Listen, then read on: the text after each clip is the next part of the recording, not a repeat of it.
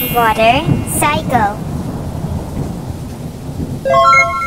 Have you ever wondered where the rain comes from? The sun heats up the water and water changes into water vapor. This process is called evaporation. It is the first step of water cycle.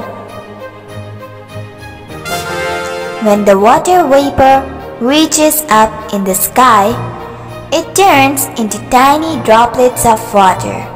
These water droplets, along with various gases and dust particles, come together to form clouds. This is known as condensation.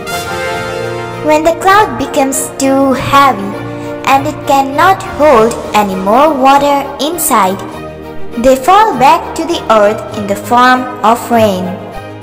This process is called precipitation.